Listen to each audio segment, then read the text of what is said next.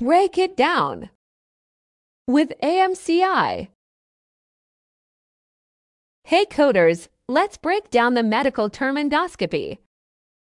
The prefix endo from Greek endon means inside. The root word scopy from Greek skopein means to look at. When you combine the prefix and the root word, you get the definition. A procedure using an endoscope to visually examine the interior of a body cavity or organ. Did you know that there are many different types of endoscopies? For example, a colonoscopy is a common type where a gastroenterologist uses a scope to check your large intestine for abnormalities.